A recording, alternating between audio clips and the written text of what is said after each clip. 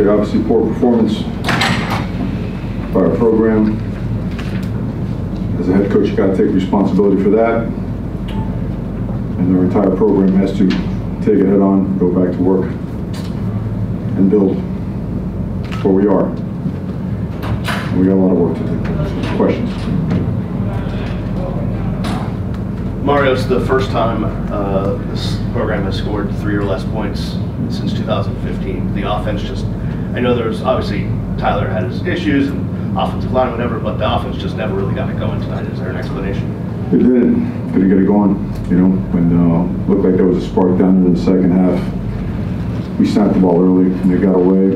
Um, aside from that first drive, we drove it down there but settled for a field goal. Uh, and then after that, I believe, uh, I think it was second or third drive, Tyler got, uh, after a punt, Tyler, Tyler got hurt. And so we tried to get some things going with the combination of Jacurri and Jake. Uh, but that resulted in very little, very little production.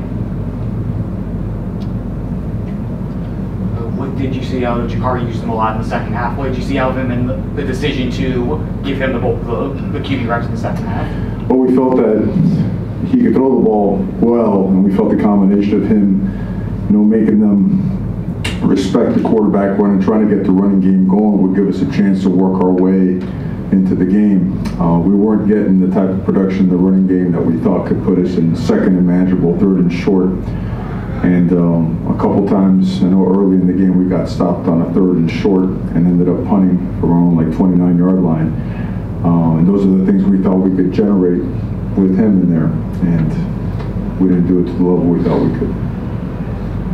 Mario, uh, what's Tyler's status? Do you know what he's going to be able to do going forward? Uh, obviously, he got it out, tried to come in, come back into the game tonight, but um, do you know what his status might be going forward? I don't. I know uh, he looked good this week in practice, latter part of practice, and looked good to start the game. And then it just uh, it went south.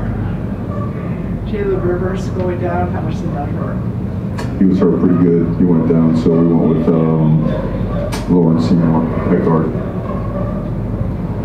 Biggest issue, I guess, defensively? Big plays. I mean, we we played counter really well. They ran counter right up the gut. We didn't stop it very well. Uh, a big part of it was tackling. Uh, another part of it was being able to spill the first puller, um, hold the point in the double team, and then just getting in there and do what we've done really well all year. We've been able to stop the run.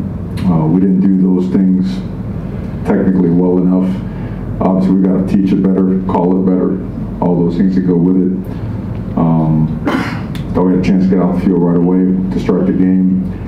Uh, I think we got hit with a pass interference. They come back with counter pass, throw it over the top for a big play. Uh, so big plays with the story. I think they had five plays for over 240, 250 yards. You know, so we got work to do. We got to build. We got to build, man. I knew it, but we got to build. Stuff like this the same. It ain't it. Hasn't scored a touchdown in, in nine quarters. What can you do to, to like during the, the season to fix the offense, try to get it going? Yeah, we got to find ways. We got to tweak stuff. We got to find ways to produce.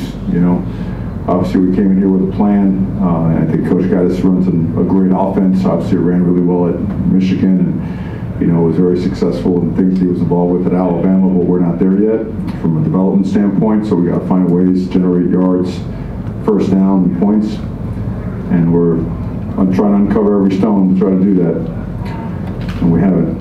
So it starts with the run game. A few more questions for Coach. Oh, the, the crowd, you had a great crowd tonight, finally. It must be extra disappointing, I guess. Well, they were awesome. They were. It was a place that was electric to start off, and it was. Uh, we got. I have to apologize to them because it's what we want. You know, it's what we want. It's what we're building to be and building to do. And I, I you know, trust me, no one feels this more than I do. But um, I, I just, I hate it for our people. I hate it for our fans. I hate it for our players. Um, we're in a building process, and we're laying a foundation and got to go to work and it ain't fun. And days like this are really painful, you know. And there's uh, there ain't no excuse, there ain't no sidestepping or sugarcoating it. So that's why I came here. Got to go to work. Got to do lots of it. So Mario, they were up 35 in the fourth quarter and throwing the ball on fourth down. Some people would say, you know, trying to run up the score. Did you feel that at all? I don't care about that stuff. It's their job to score, it's our job to stop them. You know, one day we'll switch shoes. Coach, is this rock bottom uh, for you all as a program? Uh, you guys speak in those terms, man, I ain't talking about rock bottom. I don't talk like that, I don't think like that. I don't. I very well knew what we had to do here, we gotta go to work. That's the bottom line. So, that's how we approach it, and that's what we're doing. And as far as championship culture, do you feel like a loss like this will help motivate the team? They should, they're all learning lessons, use every bit of it, good and bad.